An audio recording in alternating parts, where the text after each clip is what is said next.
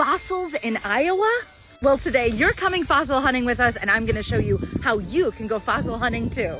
Welcome to the Devonian Fossil Gorge located in Coralville Lake, Iowa City, Iowa. The Coralville Dam was completed in 1958 on the Iowa River right upstream from Iowa City. And it was primarily built just to help with floods. We get a lot of floods in Iowa.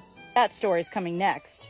So there was the flood of 1993 and the flood of 2008. Here's a fun fact, but a sad fact for you. The flood of 2008, well, I lost my home and everything I owned in that flood of 2008. It was also the year my daughter was born, three months early. My dad was diagnosed with cancer. It was one heck of a year. Now let's get back to fossils.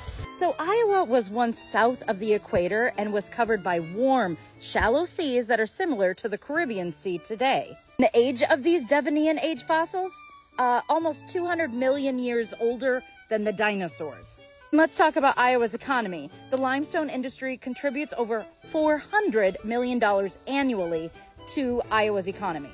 So, during the summers of 1993 and 2008, Coralville Lake exceeded its maximum capacity and all the excess water flowed over the emergency spillway.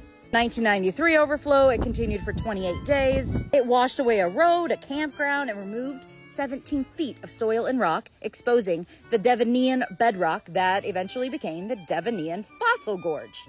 And well, in 2008, floodwaters again swept through and exposed even more. When you're given lemons, you make lemonade.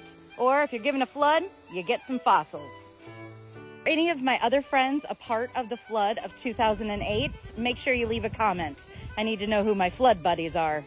Also, why was it called the Devonian uh, Gorge? Well, 375 million years ago, it was the Devonian period, hence the name Devonian Gorge. So who here has been to this fossil gorge and who wants to visit?